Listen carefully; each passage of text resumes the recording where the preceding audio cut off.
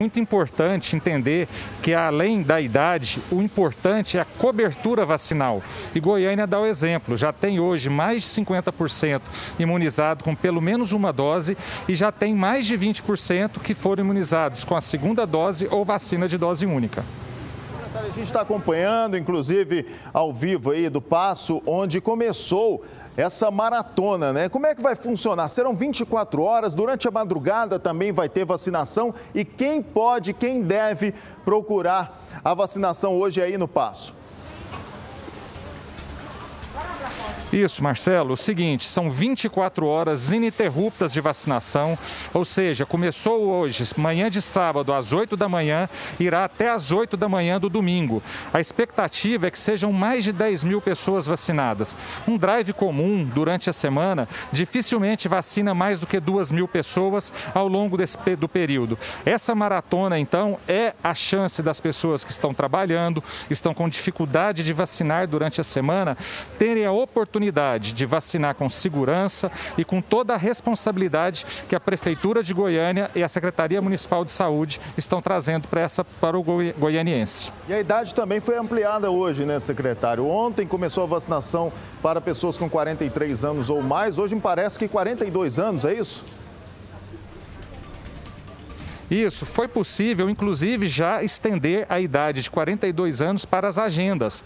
As agendas pelo aplicativo Prefeitura 24 Horas e também pelo site da Prefeitura, já podem agendar para segunda e terça-feira. E seguimos aqui numa vacinação com muita segurança e com muita responsabilidade pela vida das pessoas. Secretário, falando agora sobre os casos de Covid em Goiânia.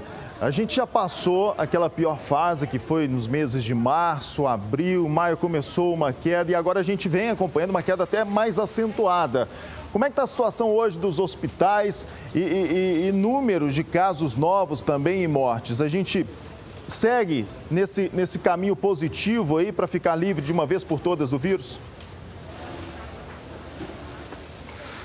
Marcelo, o cenário é cada vez mais positivo. O avanço da vacinação, bem como a estrutura que Goiânia propiciou de leitos, terapia intensiva, leitos de pré-hospitalar nas unidades de saúde 24 horas.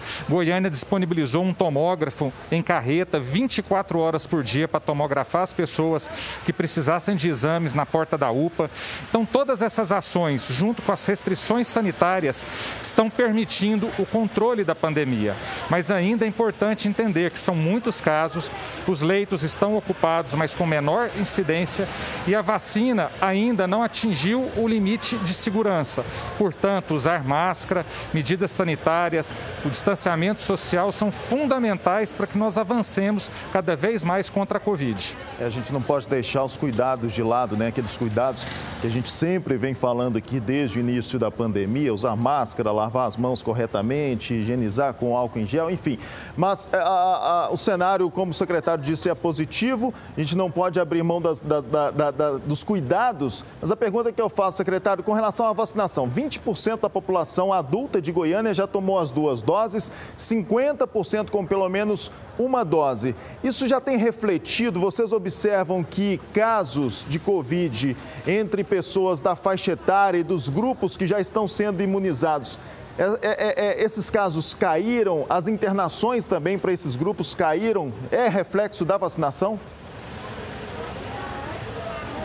Com certeza, Marcelo, já é possível observar a redução dos casos das pessoas acima de 60 anos que já foram completamente imunizadas.